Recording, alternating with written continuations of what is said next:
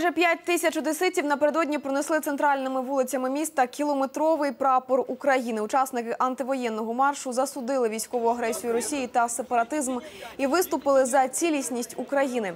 Одеситів разом із великим прапором, одесити разом із великим прапором несли і тисячі маленьких синьо-жовтих прапорців. Скандували Одеса, це Україна, Путін геть та схід і захід разом. Приєднувалися до ходи перехожі та туристи. Потім люди розтягли гігантський прапор уздовж усієї Дерибасівської. Після закінчення акції біля пам'ятника Дюку Решельє 50 проукраїнських одеситів оточили учасники проросійського мітингу. Сутичок вдалося уникнути завдяки міліції.